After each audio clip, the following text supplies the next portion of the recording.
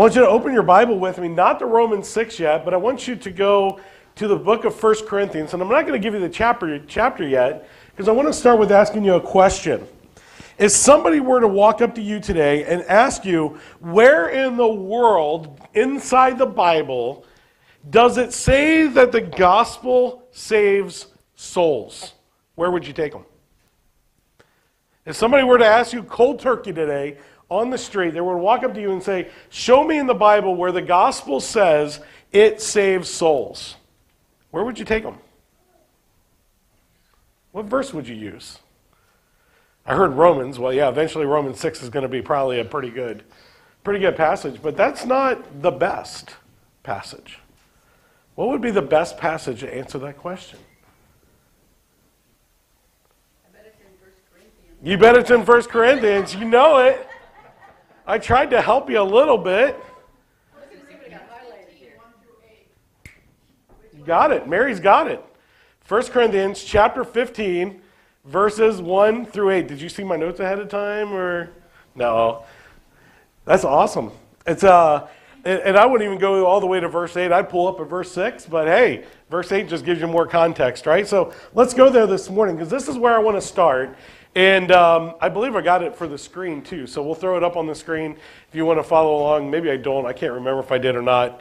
Um, I stayed out partying too late last night. And uh, this morning my brain's functioning on about negative 17 degree weather, if you know what that means. Um, but uh, remind me, Mary, I got some candy up front here for you. So good job on that one. All right.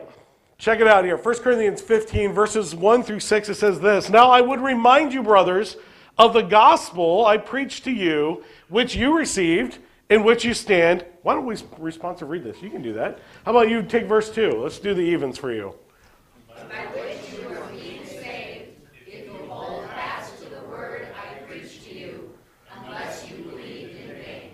What? So the gospel was doing what? In which you're being.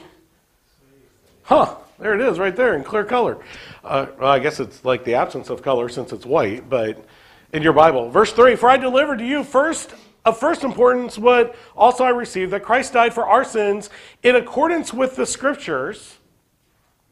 That he was buried, that he was raised on the third day in accordance with Scriptures. And that he appeared to, well, who's Cephas? Peter, Peter right? He appeared, he appeared to Peter and then the, to the twelve.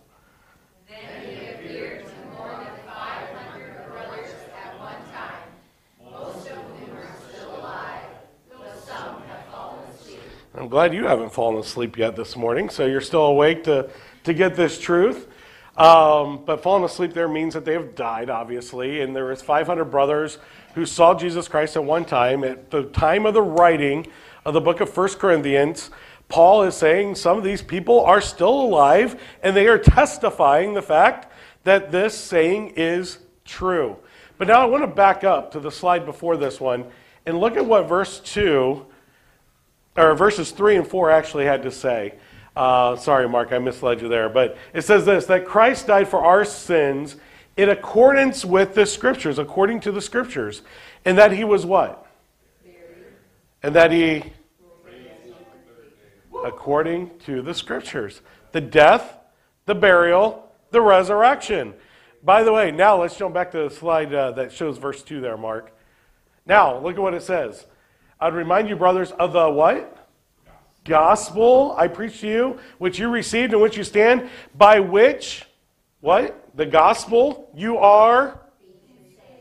So, right here in 1 Corinthians chapter 15, verses 1 through 6, 1 through 8, how about you can take the whole chapter for that much? It is summarizing this idea that the gospel is what saves mankind. Now, let me ask you a question. What doctrine is missing in this passage? Where's baptism? Where is it at? If this is what saves you, why did Paul, who, by the way, who wrote the book of Romans? Paul, why would Paul leave out a quintessential part of salvation in a summary statement like this? I mean, he's listen, the death, the burial, the resurrection of Jesus Christ. Did, did Paul just like have a Freudian moment here and forget to stick baptism in the scriptures? Baptism's not part of salvation. Baptism is a outward sign of an inward change that goes along with your starting of your public ministry and public testifying of Jesus Christ. How do we know that? Look no further than Jesus himself. He who didn't know sin, he who didn't have the ability to sin, was baptized. Immediately after baptism, he goes out into the wilderness to be what? Tempted. He was in all points tempted like we are, yet he still didn't sin. And then immediately after he leaves the temptation, he's victorious there, the angels come and minister to him. And then what does Jesus begin? His ministry. His public earthly ministry.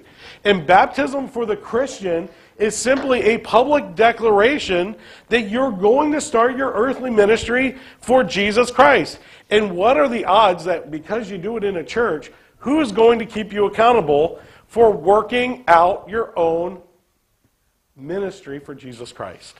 Who would hold you accountable in the church? The people, right? So, why do we baptize inside of churches today in our modern time? Why don't we drag you out to the Sauk Lake today, take a chainsaw, cut a big hole in the ice, and jump in and, and submerge you underwater, like the word means? Why don't we do that today? You guys are wimps. That's why we don't do it. You got to have a heated baptismal for crying out loud. You guys are wimps. It's a cultural thing. The reality is, we could do that today, couldn't we? And why don't we baptize people in private? Why do we do it in a service?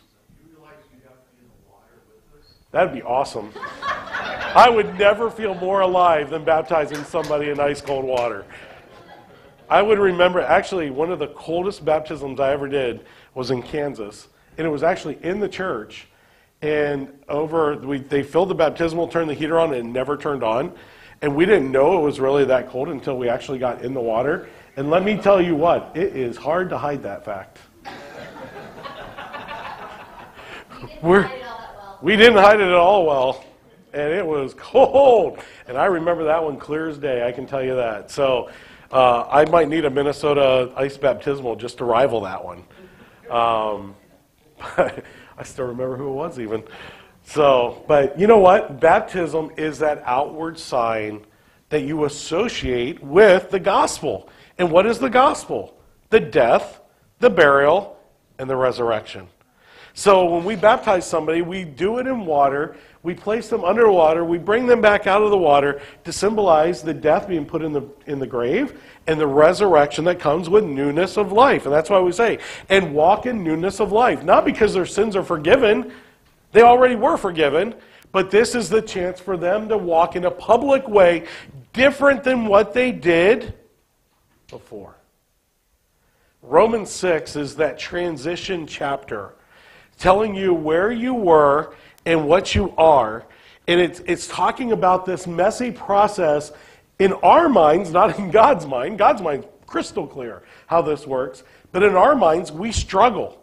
And then we're going to see in chapter 7 the ultimate struggle of man with his own thoughts and his own actions and, and the war that happens within mankind, even today, pictured in Paul. We're going to see that struggle really in in high definition. So today we're going to watch in like standard definition TV, kind of remember those big boxes that had tubes and like some of you actually had to get off the couch to change the channel by hitting a little heat sensor button or turning the knob. You remember those days? And, and like a 17 inch TV was like massive. Remember those days? Like not your cell phone. So we're going to look at Romans 6 because that's kind of what it's like. We got to go back in time to a time in which you first got saved. And as we go back in time here, I'm going to help you to understand what Jesus Christ has done for you through the gospel that he proclaims in 1 Corinthians chapter 15 verses 1 through 6. So let's go over to Romans 6 now and and as we're turning over there I want to I just want to state this. If you have believed in Jesus Christ that he has died for you and that your sins was the reason that he was put on the cross, then the gospel of Jesus Christ is not something that we compartmentalize and put away, but it is the very essence and the very motivation for why we serve Jesus Christ today. Because when we truly take in what God has done for us, the motivation then is to do what? To share it. If you got some good news today, the best news, let's say whatever, th- think about what would be the best news that you could hear today. Get that in your mind right now, okay? And let's say that by the end of the service today, you get a text message that tells you that the greatest thing that could happen to you today happened. Would you tell somebody? You would, right? Especially if it was monetary gain or, or capital gain or, or something like that, something that is very rewarding. You wouldn't hesitate to share that good news with anyone who would listen to you. And when we truly get the gospel, when we truly inter- internalize what Jesus Christ has done for us, and we realize how free we've been set, we won't help but let other people know the good news. Why is the gospel called the good news? You know what the bad news is? If you die apart from Christ, you're going to hell. That's sad. And you know what? Every week we open the newspaper, and what do we see in the newspaper? Obituaries. Those people have no chance. Their time is done, and, and the decision they made has been made, and there's no recompense for physical death. Because remember, what do dead people do? They're dead. What do spiritually dead people do? Well, let's look and see what the Bible says here in, in Romans chapter 6. We're going to pick up the narrative at verse 8. Remember, last week we started with this idea of, of being baptized, and what shall we say then? Shall we continue to sin that grace may abound? Let it never be said among us. How can we who died to sin still live in it? Remember, we were asking these questions last Sunday as we studied this? Well, we're going to pick up the narrative now in verse 8, and it's piggybacking. Remember, we're building an argument here, we're building a case for Jesus Christ and for salvation. And it says this Now, if we have died with Christ, we believe that we will also live with who? With Christ. For we know that Christ, being raised from the dead, will never die again. I mean, how many times did Jesus have to die for sin? Once, right? So, if he will never die again, then death no longer has, this is a bad word in America today, right? Death will no longer have dominion over him. For the death that he died, he died to sin once for all, but the life that he lives, he lives to God. Okay? So you also must consider yourselves dead to sin and alive to God in Christ Jesus. Now, that sounds simple enough, right? So consider yourself dead to sin and alive to Jesus. And if the chapter ended right there, that would be a great thing for us, wouldn't it? When you just like, all right, chapter 7, let's go.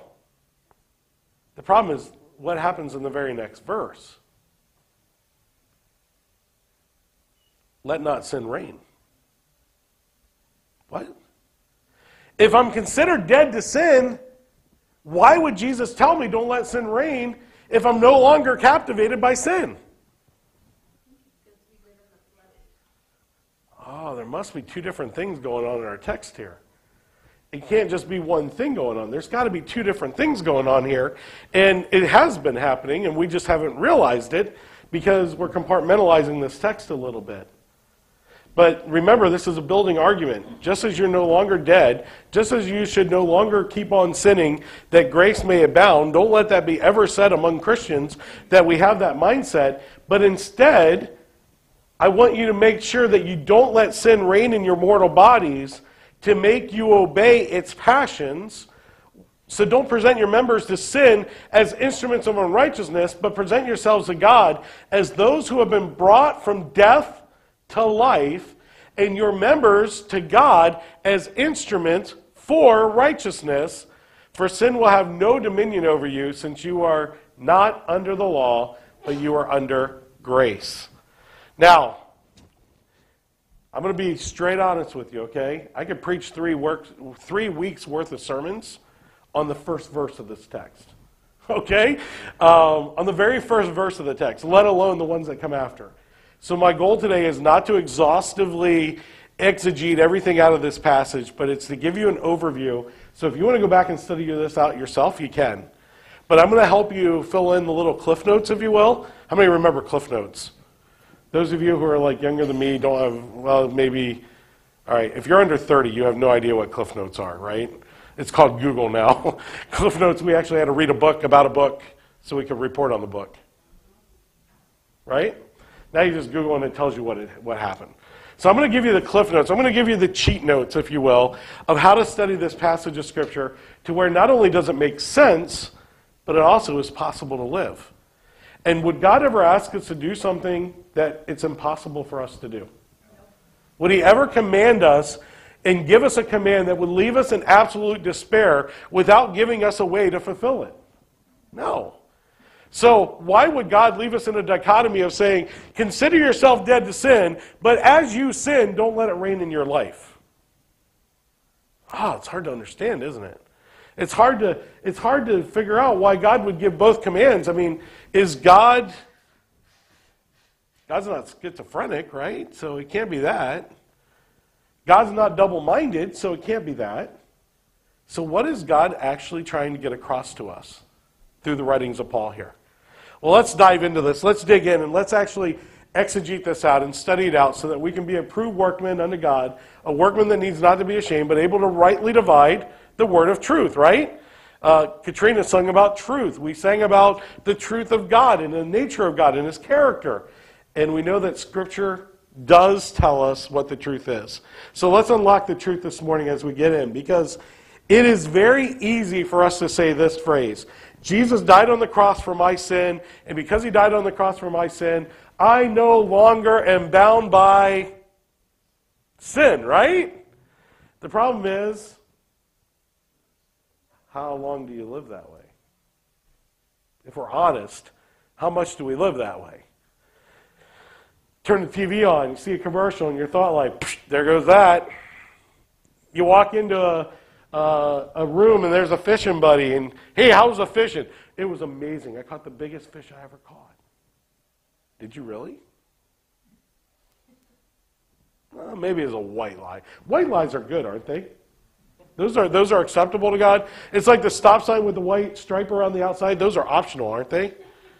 The solid red ones mean stop. The ones with the white mean optional. No. Anybody in driver's ed? No. They all mean stop, okay? So when we look at this, we got to understand there's more going on in the narrative than we see on the surface. Remember, we asked the question a couple weeks ago who or what is reigning in your life? Remember that? Who or what? If it's sin, then stop. If it's Jesus Christ, then run with it, right? Go with Him. Surrender. Give up. Give up being an enemy combatant against God. Fully surrender your weapons. Fully surrender your will. Fully surrender your desires to Jesus Christ and be adopted into His family. That's salvation. But what we're talking about right here, what he's talking about here is he is beginning to slice, if you will, the hair in such fine threads that he's actually showing you what's really going on in your life when he says, I've saved you spiritually, you're being saved physically, and one day you're going to be saved ultimately in a different way. So remember, I said a few weeks ago salvation is not past tense, it's not present tense, and it's not future. It's all of them, isn't it? How many of you have been saved? How many of you are being saved today? And how many are looking forward to the blessed hope where one day we shed this body and we're with Jesus Christ? Right? Guess what? Same word, all three places. Hmm. So being saved isn't just a one time act that happens in the past. It is an ongoing, continual thing that's being done on behalf of every single Christian alive today. And that's exactly what Romans 6 is teaching. Let's look at it in depth now. Let's dig into the passage here, and then we're going to pull in some other passages of Scripture that are going to help re solidify this. And really, for me, the crux of the passage here is Romans chapter 6 and verse 8. Romans 6 and verse 8. Notice what it says. Now, okay, what is this built? This is building on the previous thought. Who's reigning in your life? Who's controlling you? You have victory over sin. You're in the family of God. Now, if we have died to Christ, died with Christ, we believe that we also live with him. Does Jesus Christ live with you today? That's a trick question. Jesus Christ is not living in your heart today. Where is Jesus Christ today? We sung it in the last congregational. He's sitting on the throne in heaven, hearing, Holy, holy, holy, Lord God Almighty, who was and is and. Right? Jesus is alive forever. If you doubt that, just go back and read Revelation chapter 4. It's an ongoing thing. Who resides in the Christian today? Who was given as a down payment for Christians today that Jesus Christ would come back? And who is it that after Jesus Christ returns is no longer needed in that capacity to seal Christians until the day that Jesus Christ comes? So it, it fits doctrinally.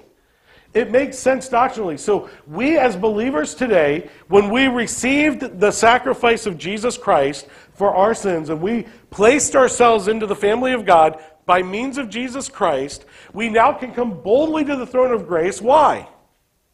Because it's not, we're not coming in our standing, in our power, in our might. We're coming through the blood of Jesus Christ.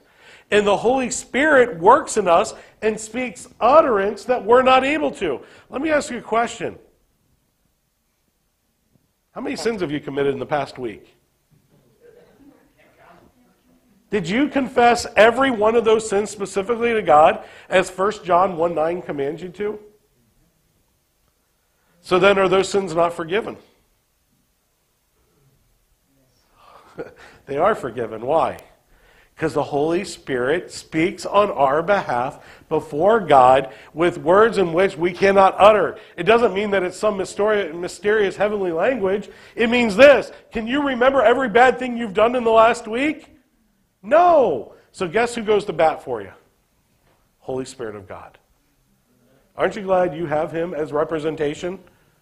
By the way, if there's any doubt that that's right, go to Zechariah chapter 3 and watch what happened to the high priest of the nation of Israel as he stood before God, being accused by Satan, with Jesus Christ as his defense attorney, and God the Father as the, as the judge and jury sitting on the throne, and Satan, Lucifer, as the advocate for accusing the high priest of being disqualified for service because of all the sin that he has in him. You know what Jesus says? Whoa, time out. That's not a true argument.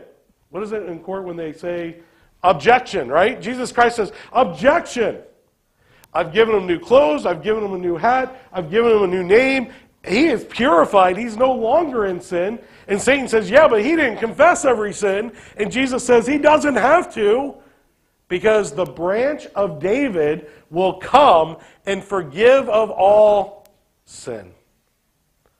Who knew that was in Zechariah 3? Go check it out. It's all there. The courtroom of God. You can stand in the presence of God, be put on trial by Satan himself. By the way, how do we know that Satan himself does that? Zechariah 3, but how about Job? Who put Job on trial? Satan did. Who was the advocate for Job? Jesus Christ. Who was the judge and jury? God the Father. So not only do we see it in Job's life, not only do we see it in Zechariah chapter 3, where it's talking about Joshua the high priest, but you know who also does it even today? Who is your advocate before God? It works, it's there. We just got to study and know it. So let's dig into the passage here. Is Jesus Christ alive forever? This is a simple question for this is like Christianity 101, right? If God isn't everlasting or Jesus isn't everlasting, then he's not who? I gave away the answer. He's not God. Because only God is everlasting. So if Jesus Christ lives forever, how do we know that we too can live forever? Well, Romans 6 and verse 8 says this If we died with Christ, we will also live with Christ. And the idea and the inference is how long is that effective? Forever. So let's go to a couple other scriptures to see the same idea. What's significant about this?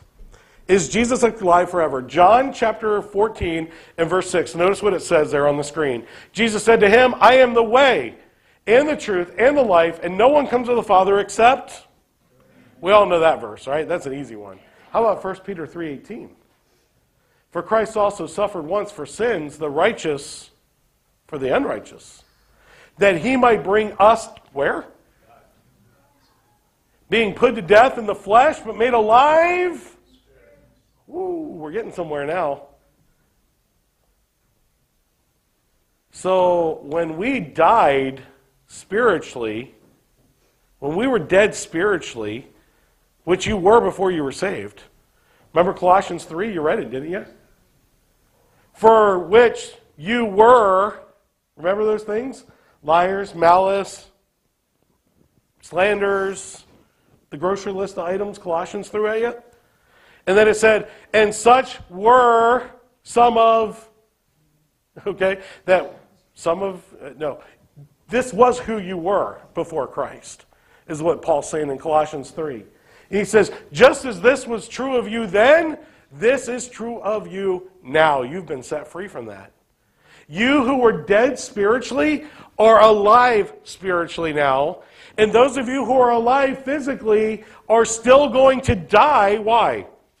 Because we live in a God forsaken world.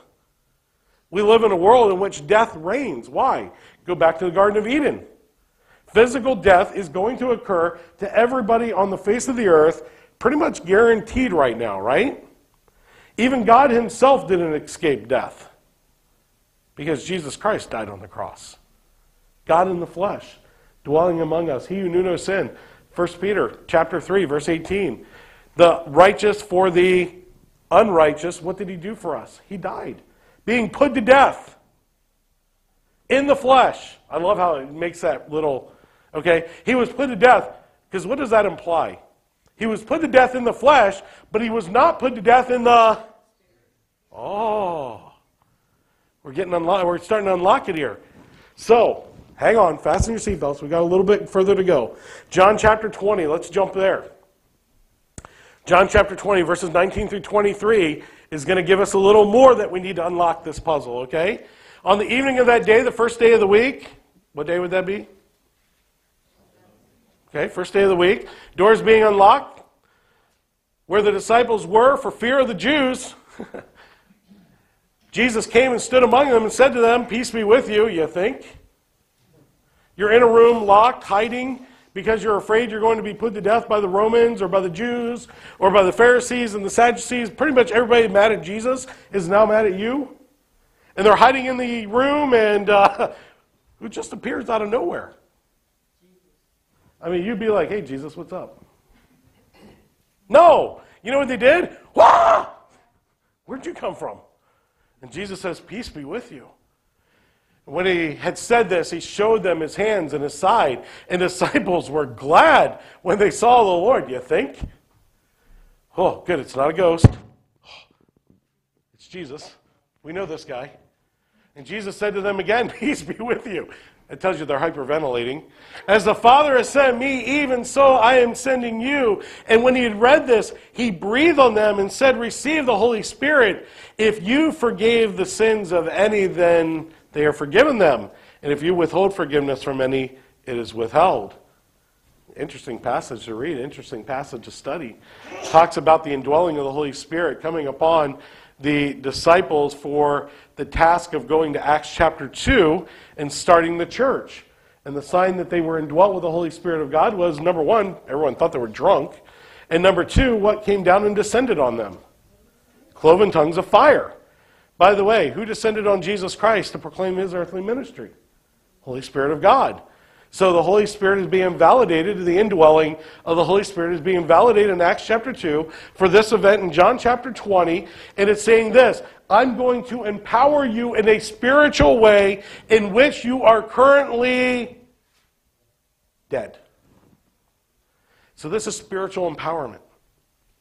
And what we're going to see in Romans 6 here is God is going to take that which is dead and spiritually empower them to do public ministry for Jesus Christ, for the sake of Christ. You weren't saved just to get out of hell and into heaven. You were saved to go win the world for Jesus Christ. And Romans 6 is declaring that to you. So, let, let's, let's, let's, can we put, start putting it together now? Or do we need to dig a little deeper? Do we need a little, uh, how about one more scripture? Okay, that wasn't enough. I know three or four scriptures aren't enough, but when God says it once, it's good. God says it twice, it's really good. When God says it about 20 times, take it to the bank, right? This is like absolutely good. 1 Timothy chapter 6 verse 13 through 16. I charge you in the presence of God who gives, say it with me. Who gives it? And Jesus Christ, who is the testimony before Pontius Pilate made the good confession to keep the commandment unstained and free from reproach until the appearing of Jesus Christ, which he will display at the proper time.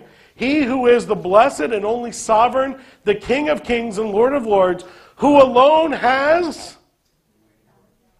who dwells in unapproachable light in whom no one has ever seen or can see. To him is honor and what? Eternal dominion. Amen. You sung about that in Romans chapter or Revelation chapter 4, didn't you? The light, the rainbow of light that comes out of the throne room of God, and holy, holy, holy, and all this stuff. And God is an eternal being. Jesus Christ is an eternal being. And what type of body does Jesus Christ have when he's in heaven? You see the nails, you see the side, you see the feet. It's a glorified body that has the scars of the physical torture that he went through. Well, I, I lied to you. I said one more. How about one more still? Because what's better than one more scripture than another scripture, right? How about Revelation chapter 1, verses 12 through 16? We might as well go there. Then he turned and saw the voice that was speaking to me. And turning, I saw seven golden lampstands, and in the midst of the lampstands, one like the Son of Man, clothed with a long robe and with a golden sash around his chest. And the hairs of his head were white. See, it's spiritual like white wool, like snow. His eyes were like a flame of fire. His feet were burnished like bronze, refined in a furnace. His voice was like the roar of many waters. In his right hand he held seven stars, and from his mouth came a two edged sword, and his face was like the sun shining in full strength. Can anybody associate with those attributes of the body? Do you have hands? Do you have feet? Do you have a face? Jesus has an earthly body, it's a glorified body. But it's a body similar to what we have in, in many ways, and yet it's identifiable with who he is. So we're talking about two different types of life here in, in Romans chapter 6. So here's what I want you to understand. Number one, why would one not want to believe in Jesus Christ? Over and over in Scripture, Jesus Christ said, What? I'm the only way you can get to the Father. The only reason somebody would not want to surrender to Jesus Christ is because they want to be their own God. They want to control their life. They want to do what they want to do, not what God tells them to do. By the way, who is the God of rebellion? God the Father or Satan himself? So this dichotomy makes sense. Now, let's go back to Romans chapter 6, and I want you to join me at verse 11, because now we're going to tear this thing down, okay? So, Romans chapter 6, verses 11 through 14, tells us how we are to live for God. All right? How do we reconcile this being dead but alive and still sinning and yet not bound by sin, but we're sinners and we're set free from sin, but we still sin? How does all this how does all this stuff happen? So, verse 8, if we now have died with Christ, we believe that we will also live with him. Okay? How have we died with Christ? What died? Our sin. Because who took your sin? Jesus Christ did. And where did he take it to? The cross. So it says, if we have died with Christ spiritually, he took our sin, he who knew no sin became sin for us, then we believe that we will also live with him. John 3:16, right? For God so loved the world, he gave his only begotten Son, that whoever believes in him should not perish, but have everlasting life. There it is. We know that Christ being raised from the dead will never die again, physically or spiritually. Well, it has to be physical. He never died spiritually. He, why? He's God. He couldn't die spiritually. So what we have is imagine two railroad tracks, okay? How many tracks do you need to make a train run? One rail or two? Two, right? Okay? Spiritually speaking, there are two rails to your life. There's the physical rail and there's the spiritual rail. Up to this point of salvation in your life, your spiritual rail was broken. But your spiritual rail, your physical rail was alive, but your spiritual rail is dead, right? I have a train track in my house, and there's power in both rails. And when one rail loses power, guess what happens to all the engines? They stop working. They're dead. They're rendered inactive. They have all the potential to live, but without power, they have nothing. And you who are alive physically but dead spiritually were missing the thing that you needed to live. You were lacking power.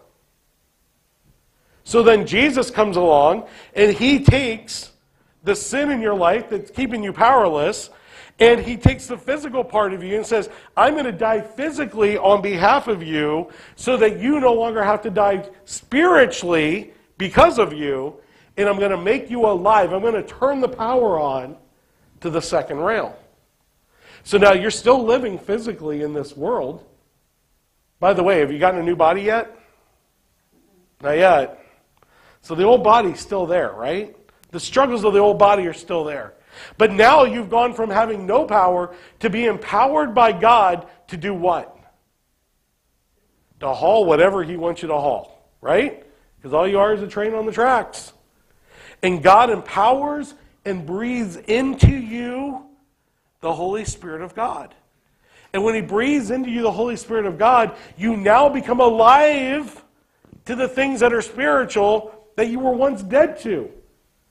And now he asks the question back in Romans 6 and verse 1. This question is going to make sense now. Shall we, as followers of Christ, keep on turning off our power rail so that we can have God's grace abound even more in the world today? Wouldn't that be great? No. What would be greater is that you start hauling the load spiritually because the Holy Spirit's empowered you to do it. God says, I've designed you to do something special. And what makes me most happy, what makes me most proud of my children, is when they walk in the things I want them to walk in. So don't live like the world. Quit hauling the world stuff and start hauling my stuff. Stop trying to be like the world and the things of the world because the things of the world die. Why? Because they're physical. But be alive to Christ because it's spiritual. So now, what are some things that we should live for and what should we die to? Verses 11 all the way through 14 give us the recipe.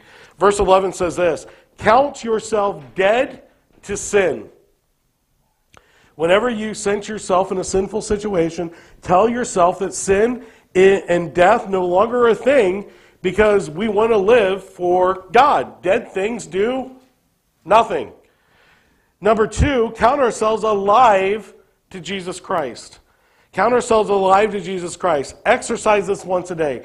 Take the reality, take a deep breath in, and then exhale. And whenever you do this, you realize that the Holy Spirit is living inside of you. Right? Everybody breathe in together. And then exhale. That's what the Holy Spirit did to you spiritually. If somebody was struggling right now with, with living, what's the first thing that a, a rescuer is going to try to do on them when they're incapacitated? CPR, right? What are they trying to do? Keep air moving in and out of the lungs, right? You keep air moving in and out of the lungs, it equates to what? Life. It equates to life. And God says, I have breathed into you the Holy Spirit of God. You've been empowered by the Holy Spirit of God. Number three, don't let sin reign in your body. Verse 12, that has the idea of this.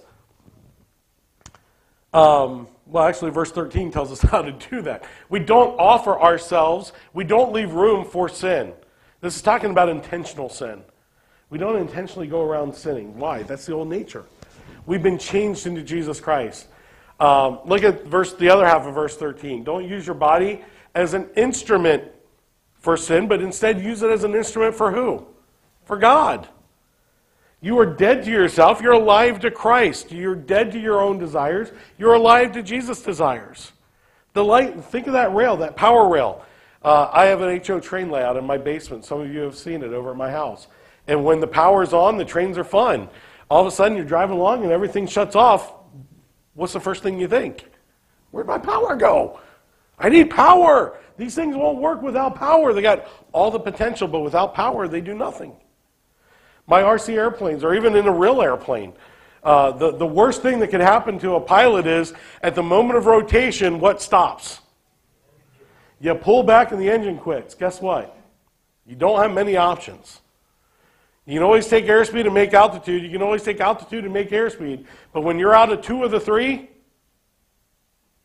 do you get it? There's not three options. when you're out of both, you're done. Because without altitude and airspeed, you've got a one trajectory angle to the ground. And the worst place to lose an engine is on takeoff.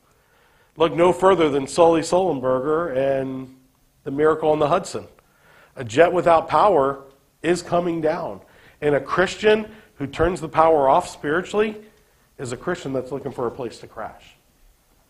That's why God says, Be alive unto me, follow me. So, what are your eyes seeing today? What parts of your body are you offering to Jesus Christ? What are your eyes seeing? What are your ears listening to? What, are, what thoughts are in your mind? Where do you take your feet? What are your hands doing for Jesus Christ?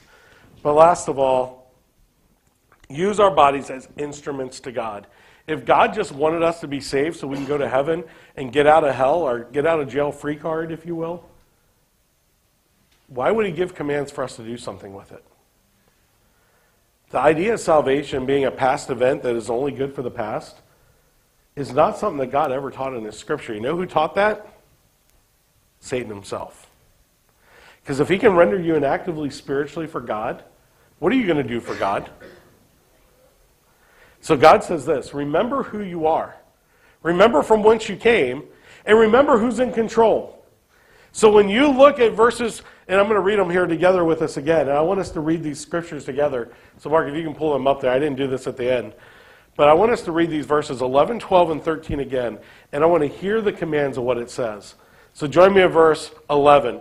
So you also must consider yourselves dead to sin and alive to God in Christ Jesus. Have no dominion over you, since you are not under the law, but under grace. Let not sin, therefore, reign in your mortal body to make you obey its passions.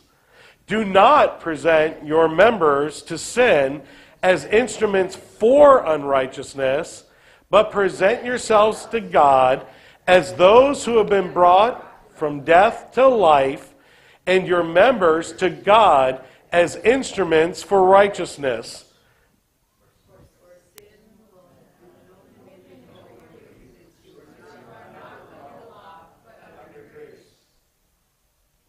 I belled on the last part so you would hear it.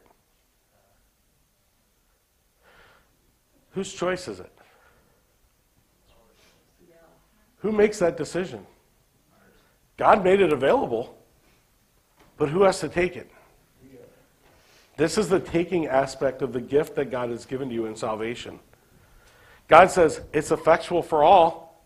You want to get the sovereignty here? I'll give you a, I'll give you a snapshot. You want the sovereignty of God, free will, of man issue? Right there it is. God sovereignly has given you everything you need to get saved. Who's it good for? Those that do it those that actually take it. That's the whole free will of God, sovereignty of man thing in, in, in, a couple verses right there.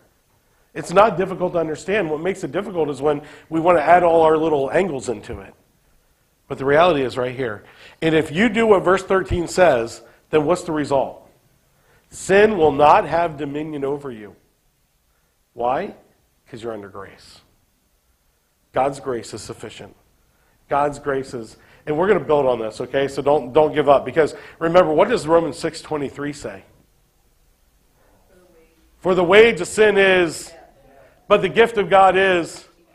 And how do you get that? Isn't that good news? Isn't that good news?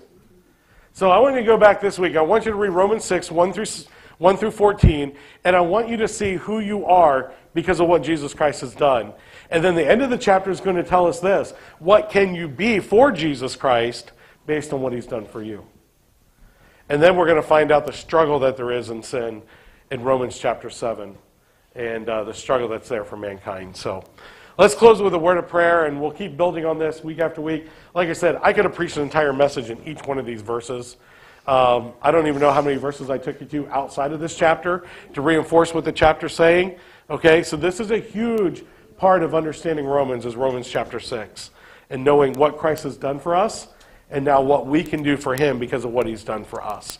So let's close with prayer. Father, thank you for your word. I thank you that it's quick and powerful, it's knowable, and Father, we can live for you because of what you've done for us. And Lord, I pray that as we study your scriptures, and Lord, uh, even, man, how time flew just trying to get through this passage, that Father, there is so much truth in your word, so much freedom that can be had in understanding doctrine.